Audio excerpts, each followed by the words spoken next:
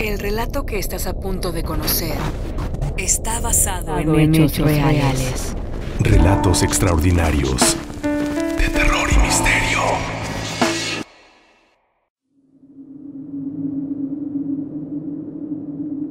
Luisa había sido advertida una y otra vez acerca del inclemente frío canadiense. Sus familiares, que habitaban en aquel país del norte y que serían quienes la iban a recibir, le hicieron hincapié en reiteradas ocasiones sobre las temperaturas en extremo gélidas, así que sus gruesos suéteres y abrigos fue lo primero en lo que puso especial atención.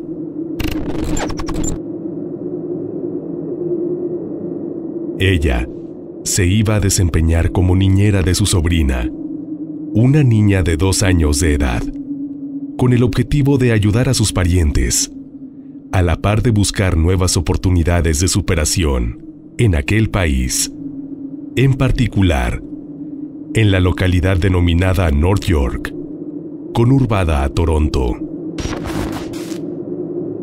No obstante, tan solo poco tiempo después de su arribo, sucesos extraños comenzaron a inquietarla.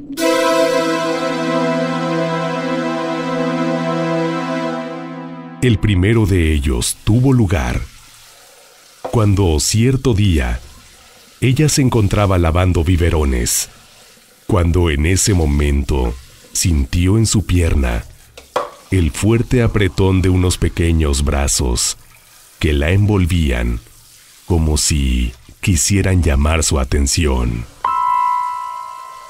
Luisa le pidió a su sobrina que la esperara un momento, que estaba por terminar, y que entonces le haría caso. Sin embargo, justo al voltear para hacerle saber esto a la niña, se dio cuenta que se encontraba totalmente sola.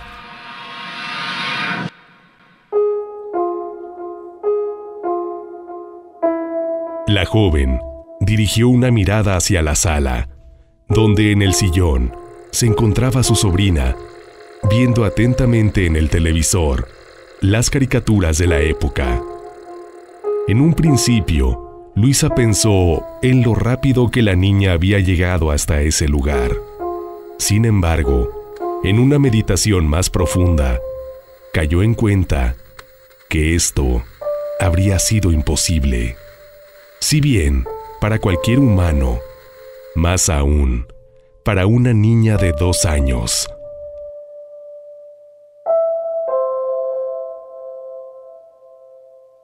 Atribuyendo este hecho a su imaginación, la muchacha decidió no darle importancia. Los días pasaron y otra mañana, la protagonista de esta narración se encontraba otra vez realizando la misma actividad, cuando se percató que su sobrina, aún en su limitado lenguaje, se encontraba hablando. Ella pensó que la niña estaba demandando su atención. Le hizo saber que estaba por terminar y que en un momento estaría con ella. Sin embargo, al echar un vistazo a la sala, donde se encontraba la niña, un escalofrío recorrió el cuerpo de Luisa. Cuando encontró a su sobrina sentada en el sillón, platicando tranquilamente hacia la nada.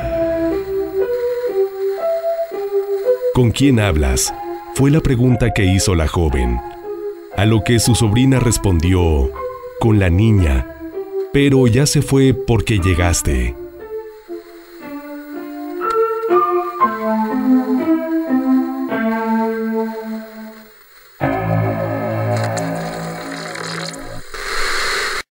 Luisa insistía en atribuir estos hechos a su propia imaginación y a la de la niña.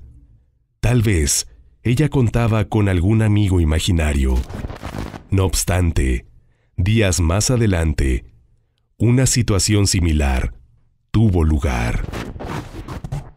Pero, en esta ocasión, la pequeña niña rompió en llanto. Luisa corrió hasta encontrarse en la sala con su sobrina, quien simplemente aludiendo a la niña, la niña, no dejaba de llorar. Tratándose de una zona y también de un país, en lo general tranquilo en materia de seguridad.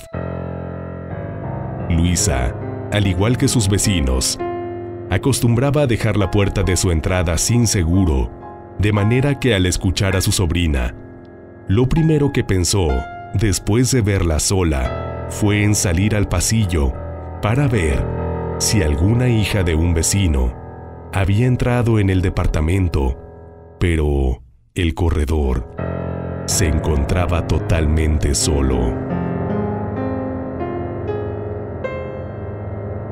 Al volver con su sobrina, Luisa vio que ella seguía llorando, pero esta vez, poniendo más atención, se dio cuenta que la pequeña señalaba su antebrazo izquierdo. Revisándola, Luisa sintió un profundo temor cuando se dio cuenta que en esa parte del cuerpo de la niña estaba plasmada la marca oscurecida de una pequeña mano, como si la hubiera apretado con mucha fuerza. Fue en ese instante que la joven, por primera vez, pensó que se estaba enfrentando a un tema paranormal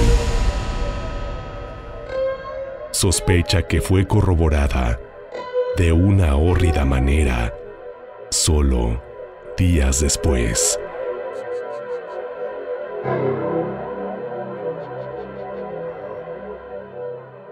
Regresando de convivir con algunos amigos, el reloj marcaba las 2.30 de la madrugada. Luisa ingresó al departamento y posteriormente abriendo la puerta de su recámara. La vio. Una pequeña niña estaba sentada sobre su cama, con sus piernas cruzadas. Luisa pensó que esto era una mala jugada de su imaginación y con esto en mente, encendió la luz de su cuarto solo para darse cuenta que la niña seguía ahí.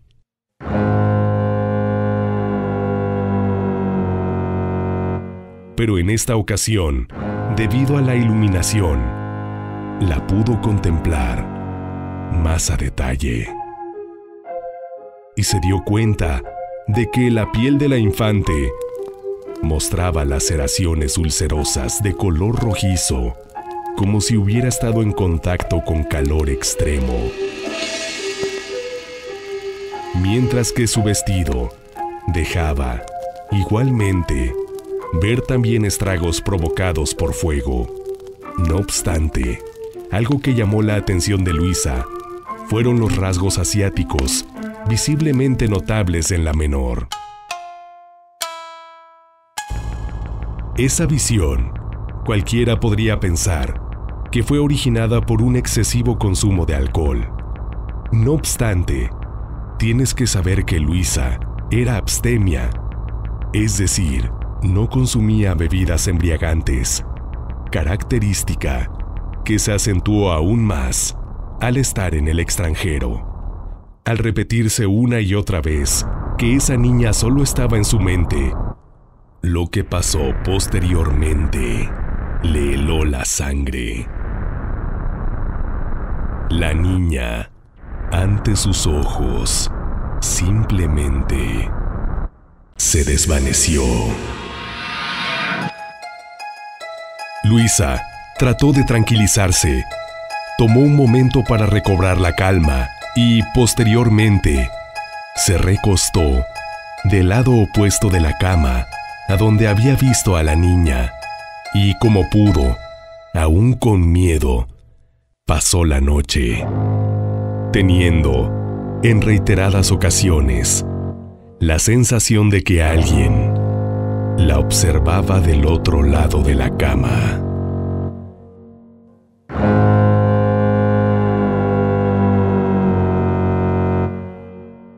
Días más tarde, una idea llegó a la mente de Luisa al encontrarse con el conserje del edificio, un hombre de avanzada edad, pero de una amabilidad extrema. Decidió, con pena, abordarlo para preguntarle si alguna persona había fallecido en ese departamento. Ella estaba preparada para lo peor, estaba mentalizada para recibir la confirmación de un deceso que explicaría todos los fenómenos que estaba viviendo. Sin embargo, para su sorpresa, la respuesta del hombre fue no. En todos los años que él llevaba trabajando en ese edificio, que por cierto, eran ya muchos, nunca, nadie había fallecido en ese departamento. Él tenía la certeza. Podría entonces, efectivamente, todo ser producto de su imaginación. Era lo que se cuestionaba Luisa, a pesar de todas las evidencias y el extraño comportamiento de su sobrina. No obstante, solo pocos días después, una nueva oportunidad de despejar sus dudas llegó a Luisa cuando mientras cambiaban los sensores de humo y extintores de todos los pisos del edificio, y ella, al percatarse de esto, tuvo la idea de inquirir nuevamente al conserje que acompañaba al personal a cargo de esta tarea. Ella le preguntó si en alguna ocasión algún incendio había tenido lugar en el edificio.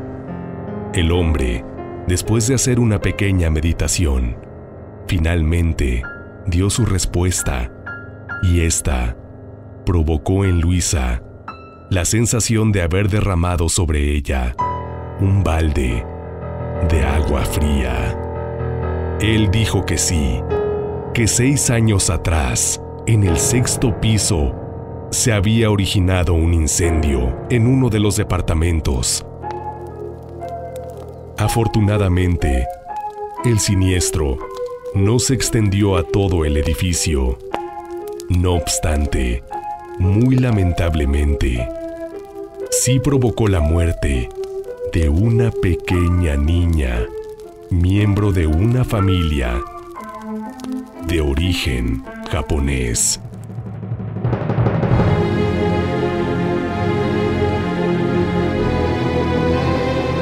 A partir de esa fecha, teniendo ya conocimiento de los siniestros hechos, ella confiesa que, a manera de escudo, utilizaba a su sobrina para saber si la aparición estaba presente o no, con el objeto de realizar actividades o pasar por ciertas zonas del departamento.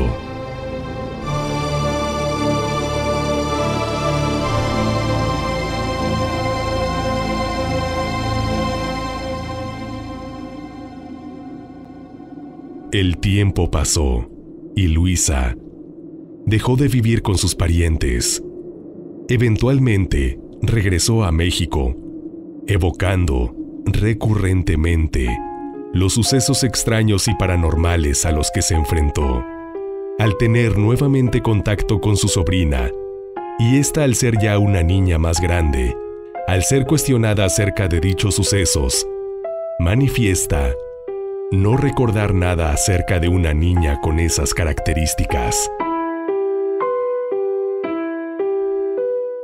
Sin embargo, se dice que esa aparición, hasta este día, aún sigue recorriendo los departamentos y pasillos de ese edificio en North York, confundiéndose a veces con un amigo imaginario y a veces siendo una aparición más palpable, como con la que la protagonista de este relato tuvo el infortunio de encontrarse, solo para dar fe, a través de sus heridas y aspecto, de su trágico destino.